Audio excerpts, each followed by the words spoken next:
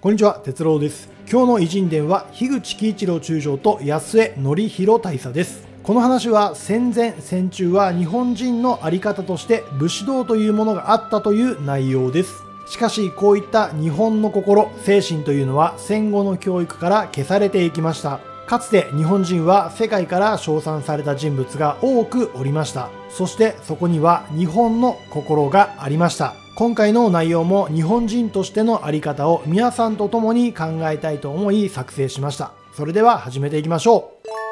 う。まず1人目の人物は樋口喜一郎です。明治21年8月20日、1888年の生まれになります。兵庫県淡路島の出身です。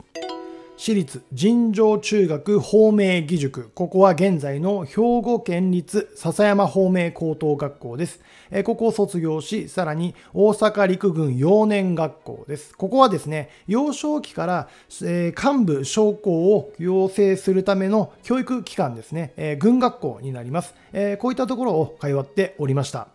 そして18歳の時に樋口家の養子となり、樋口喜一郎となります。明治42年1909年陸軍士官学校第21期を卒業しそのまま陸軍大学校第30期へとなりますこの時樋口喜一郎は優秀な成績を収めておりさらにロシア語が堪能であったということですそれから10年後、大正8年、1919年、ウラジオストクに赴任します。その後、満州、ロシア方面各部署をこうね、いろいろと点々と勤務していきました。あこのような人物であります。あの、ざっくりと簡単にこの経歴だけ教え、お伝えしました。そして今日の話は、その後、昭和初期のことになります。昭和8年、1933年、ヒトラー率いるナチス党がドイツの政権を獲得し、ユダヤ人はナチスから迫害を受けるようになりました。そしてこれは年を追うごとにどんどんひどくなっていきます。昭和13年、1938年3月、ヒトラーはオーストリアを併合します。その後、ユダヤ人1万人を国内から追放し、襲撃する事件が起きるようになります。さらに、ここでドイツを追われたユダヤ人はヨーロッパ各地に行くんですが、このヨーロッパ各地でも迫害を受けるようになります。そこで今度はアジアを目指すことになりますが、そのアジアの候補地として満州という土地がありました。満州との国境、シベリア鉄道の終点、オトポール駅には大勢のユダヤ人が集まりました。この数は数千から数万とも言われています。当時、満州には1万3000人のユダヤ人が住んでおり、アブラハム・カウフマンという中心的人物がおりました。そこでカウフマンは、ハルビン特務機関長の樋口喜一郎陸軍少将、この後中将になりますけども、樋口に助けを求めました。すると樋口はすぐに満州国外交部を呼び出して難民の通過ビザの発行を決め救援列車の運行というのも決議しました。そして満州に住んでいたユダヤ人もこれに参加し難民の救助に当たりました。病気や凍傷で動けない人はすぐに病院に運ばれそして温かいミルクや衣類なども配布されました。その時これを見たこのユダヤの、難民たち子供たちは嬉しさのあまり良かった本当に良かったと声を上げて泣き出したと言います。このように樋口喜一郎の迅速な決断が多くのユダヤ人の命を救いました。ここで救われた難民の多数はアメリカに向かいましたが、一部は満州に残留しました。そして樋口はこれらの残ったユダヤ人たちの住居から土地の斡旋まで面倒を見たということです。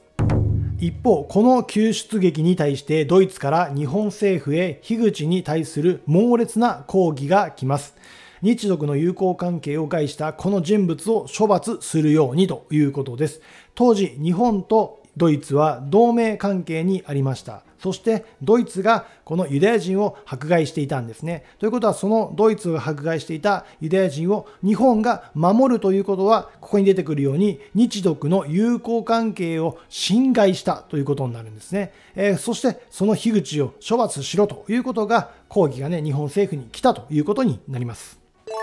この抗議に対して関東軍参謀長であった東条英機は樋口に事情を尋ねました。すると樋口はこのように述べます。ドイツの国策が追放したユダヤ人を困窮させることが目的ならば、それは人道上の敵である。私はドイツと日本の友好は希望するが、日本はドイツの属国ではなく、満州もまた日本の属国ではないと信じている。これを聞いた東条はよくわかった。この件は不問に付すように伝えておくと力強くうなずいたと言います。ここで樋口の意見を聞き、そして人道的なしっかりとした対処をするということで、東条はこれを認めた。これもなかなかの決断だったと思います。そして話は終戦後になりますが、昭和20年1945年8月15日、ポツダム宣言を受諾し、日本は敗戦国となりました。ですが、この時、ソ連は終戦間際の8月9日に一方的に日ソ中立条約を破棄し、日本と満州に攻撃を仕掛け侵略してきました。北方領土においては、樋口はソ連軍の日本侵略を阻止するために応戦し、これを撃退しました。このことをソ連は根に持っており、戦後樋口を戦犯として引き渡すように要求してきました。この要求を知った世界ユダヤ教会は、樋口を救え、樋口に恩を返すのは今だと世界中にいるユダヤ人に連絡を飛ばし、樋口の救出活動が展開されました。世界ユダヤ協会がアメリカ国防省に働きかけた結果 GHQ は樋口をソ連に引き渡すことを拒否し樋口を守ることを通告し樋口の身柄は安全となりましたエルサレムの丘にあるゴールデンブックにはモーゼやアインシュタインなどの結出したユダヤの偉人と並んで4番目に樋口の名と偉大なる人道主義者ゼネラル樋口の一文が刻まれているといいます。さらに樋口に続き名が刻まれているのが次に紹介する安江則弘大佐です。明治21年1月12日、秋田県秋田市の出身です。陸軍中央幼年学校から陸軍士官学校第21期を卒業し、陸軍将兵将校となります。この第21期陸軍士官学校ですね、ここには石原幹事と、そして先ほど紹介した樋口喜一郎がおりました。ということはですね、この安江という人物は、この樋口石原幹事と同期ということになります。先ほど紹介した樋口喜一郎によるユダヤ人救出劇の影の立役者がこの当時樋口の部下であったユダヤ人問題の専門家であった安江ということです。安江や石原幹事などは満州帝国の建国の精神である五族共和にユダヤ人を加えようと考えておりました。ここでいう五族というのは日本人、漢人、朝鮮人、満州人、蒙古人、ね、この5つの民族が五族とされていまして、えこの民族たちがですね、協調して暮らせる国づくりというのを目指したのがこの満州ということで、日本の和の精神ということでしたね。えそこにユダヤ人も加えようと考えていたのが安江、えー、とね、この市原患者ということです。昭和13年、ユダヤ人対策要項を決定します。これはですね、安江が板垣清志郎陸軍大臣と話し合って、板垣を提案者として決まったものです。そして、この要項の内容は、